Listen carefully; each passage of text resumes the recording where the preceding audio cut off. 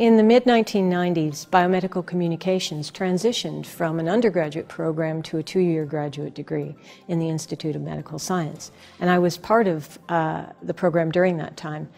It's been wonderful for me to watch the evolution of that program over time from its early roots in traditional medical illustration to an expanding profession that encompasses many more forms of visual communication, such as simulation, 3D animation, interactive media, data visualization, graphic narratives, and it continues to expand.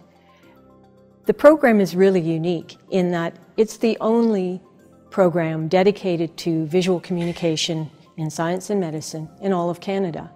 And it's one of only four accredited programs in North America.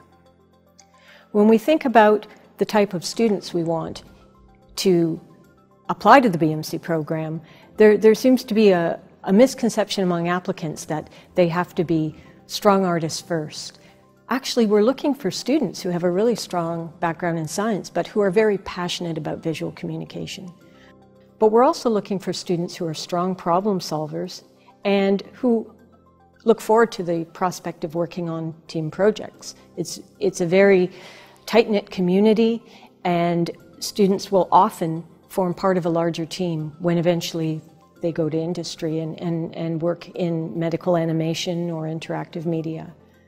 So we're looking for students who encompass all of these qualities, but primarily students who are very passionate about creating visual media and solving these scientific problems.